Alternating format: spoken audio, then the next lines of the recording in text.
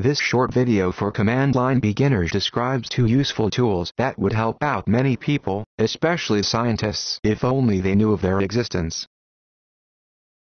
Here's a common problem. You have an important data file that is plain text, but the file is so large that merely attempting to open it crashes your computer.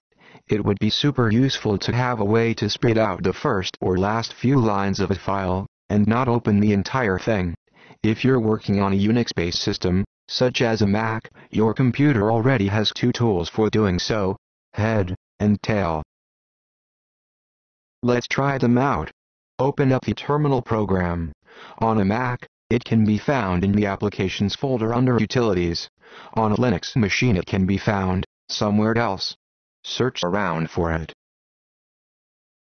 Here is my terminal with my prompt. Type head, and then a space, and then the path to the file you want to peek into. Hint 1. An easy way to enter the path is to just drag and drop the file into the terminal window. Hint 2. For more information on paths see my previous video called Basic Unix Commands. Press return to enter the command.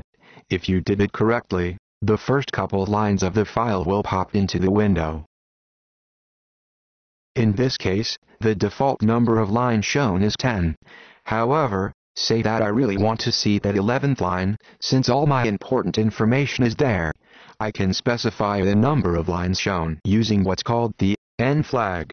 I'll type head, space, dash, n, space, 11, space, and then my file name, and press return. Now the first 11 lines of the file are shown. If you understand head, you'll understand tail. Tail is the Unix command that shows you the last couple lines of a file.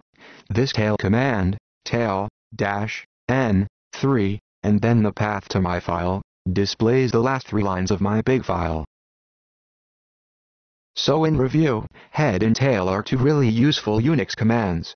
Head shows the first lines of a file and tail shows the last ones, and each can use the n flag to change the number of lines shown.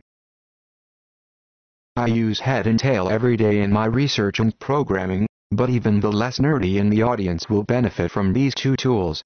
I hope you found this video helpful, and didn't mind the robot voice too much. More how-to clips are on their way.